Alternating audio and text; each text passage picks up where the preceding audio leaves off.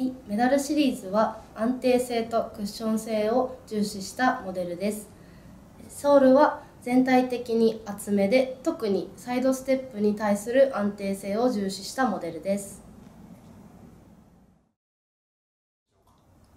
ここ一番で踏ん張りたいというようなフットワーク重視のプレイヤーであったり足腰に負担をかけたくないようなプレイヤーにおすすめです。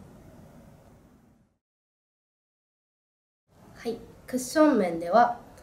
厚めのソール設計をベースにしながらかかとに搭載された水のウェーブをクッション重視のパラレルウェーブを採用することでクッション性を高めました。安定性の面では